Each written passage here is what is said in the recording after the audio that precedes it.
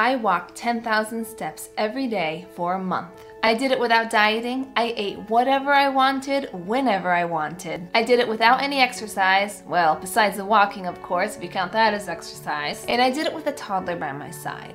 All the time. Help. Somebody save me. Somebody get me out of here. I need chocolate. I need time to myself. So the question is, why did I choose to do this? Well, because whenever I went up the stairs, I panted like a wildebeest with asthma, being chased by a lion, like this video if you relate. Because my stomach looked like I was four months pregnant, after pictures to come. Because I think I might be turning into a vampire, and I need sunlight to prove to my family that I'm still human. Nevertheless, I needed to make a change, and this seemed like an easy one. Well, easy it was not. Well, first of all, I know you guys all want to know if I lost weight or not, and the answer is Yes, I did. How much weight I lost and before and after pictures will be revealed later in the video. But I will tell you that my starting weight was 144 pounds and I am 5 foot 4. Yes, I'm short. Blame my mother. So while walking 10,000 steps a day for 30 days, I decided to vlog every day of it, which I will share in next week's video. I'm gonna link it right up here once it's up. But in this video today, I'm gonna tell you the four things that have changed during this time of walking 10,000 steps a day and the 10 things that I learned. So the first thing that changed is I started sleeping like a baby. Mm no, I've had a baby. They don't sleep good. I slept like a koala bear. Google says they sleep good. At first, my sleep was compromised because I wouldn't get my steps in in time, so I'd have to walk in circles at 10 o'clock at night, and so I wouldn't get to sleep till later. Oh, and I drove my husband crazy because he'd be trying to settle down at night, and I would be making him and the cat very anxious by walking back and forth repeatedly, as shown in this video. Yeah, she hates me. And everybody loves them some good old science. So Dr. Carson from Harvard Medical School said, Is that British or Southern? Is this even science? Going for a brisk daily walk won't just trim you down. It will also keep you up less often at night and exercise boosts the effect of natural sleep hormones such as melatonin. Downside to this is I started hitting the snooze button a lot more than I used to, but totally worth it, right? Who doesn't love sleep? Except elephants. Did you know they only sleep two hours a day? So on to the second thing that changed is that I was surprisingly less hungry and less likely to reach for sugary foods. I am a sugar addict. It all started 10 years ago when I started working at an ice cream shop and it all went down from there.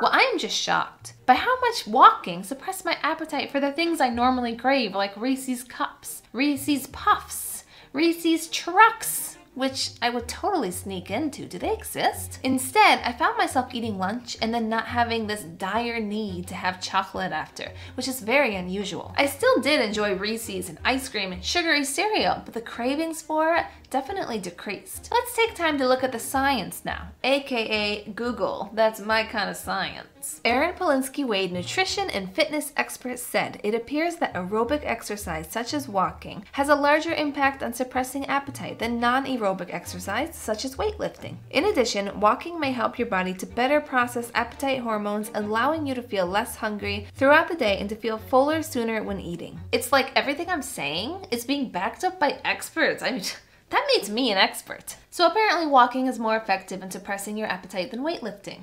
Good to know. I'll have to decrease my intense weight training. The third thing that changed is that walking made me feel more energized throughout the day, which really surprised me because I figured it would take my energy away and I would go for a walk and then I would be on the couch the remainder of the day eating a bowl of marshmallows. But instead, walking made me activate my inner Tigger. And I was actually able to get more done each day. I mean, the first few days were harder because my body was in shock from the sudden movement that it was not used to. What are you doing? It's time to deactivate Tigger and activate my inner Dexter. Let's see what Google says. Healthline.com sounds reliable. Going for a walk when you're tired may be a more effective energy boost than grabbing a cup of coffee. Walking increases oxygen flow through the body. It can also increase levels of cortisol, epinephrine, norepinephrine. I want to talk to the guy who created these words. Not cool. Those are the hormones that help elevate energy levels. Very important hormones, I suppose, should have very fancy names that you can't pronounce. So when you're tired, abandon the coffee and go for a walk. But there's no way I'm giving up my coffee, so try both at the same time. The fourth thing that changed is I lost weight. I know this is the point of the video you've been waiting for. I was really worried because I didn't feel like I was losing weight. I mean, I still had to suck in to put my pants on. And I was still eating ice cream and potato chips, so boy, was I surprised when I stepped on the scale one month later and it said... I lost three pounds. But what's even more surprising are these pictures. I look like I went from four months pregnant to two months pregnant. And I'm not pregnant at all, for those of you wondering. But I did have a baby, which makes it difficult to get rid of this flab right here, so. But I'm not sure if any amount of walking could get rid of that. I don't even feel skinnier, but the proof is in the pudding. And I don't even know what that saying means, but my pudding has shrunk and that's proof. So let's move on to the 10 things that I learned by doing this challenge. And I'm just gonna rattle them off one by one. Walking in circles around your house is not fun. So get outside. Yet it does get the job done. Walking around in circles at night will annoy the people you live with. Dancing is a good way to get steps in. Grocery shopping does not give you as many steps as you'd think it would. Dishes don't benefit me at all in the walking department, but you still gotta do them. Walking with other people is nice, and it makes the experience a lot less painful. I wish I had a dog. I wish I had a babysitter so I could walk without a stubborn toddler. I wish I had Oreos and a glass of milk because that sounds freaking amazing. I'm so hungry because I stopped walking. And you should always set Google reminders to remind you to put your watch on in the morning. And lastly, you should click on this video where I documented every single day of my journey of walking 10,000 steps a day for 30 days so you can actually join me in the experience. Thank you so much for watching and I will see you guys soon.